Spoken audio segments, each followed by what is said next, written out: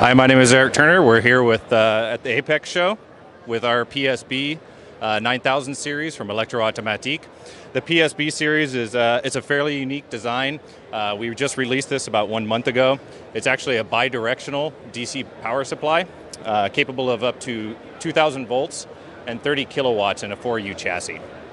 Um, some of the unique things about the bidirectional is you have the standard regenerative DC loads, you have the standard DC power supplies. This actually combines both of them. Um, most of the target applications for something like this is e-mobility, bidirectional uh, inverters going into electric vehicles, uh, uh, batteries, for instance.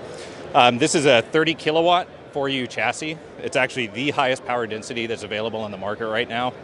Um, one of the biggest benefits of having bidirectional is not only the simplicity of combining a power supply and a load, but it also regenerates that energy back to the grid. Um, when it's regenerating or sourcing, it's 94% efficient. Um, it's internally, it's silicon carbide switching, which is also uh, uh fairly new to our industry. Um, switching at around 160 kilohertz. Um, well, the nice thing about that is you do get uh, fast slew rates out of it.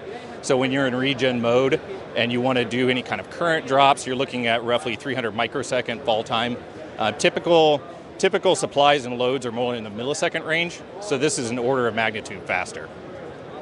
Um, the unit comes with a, what's called an Anybus. So for automotive manufacturers, it has CAN.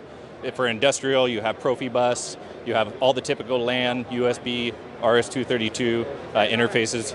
You have a nice touch screen, so when you do want to use it from the front panel, um, all the funct- all the available features are here, of course, through software or through the front panel. It has a built-in function generator, so you can actually generate either voltage or current waveforms instead of having a third-party piece of equipment, having to inject it and just using it as an amplifier. It's all combined into a single unit.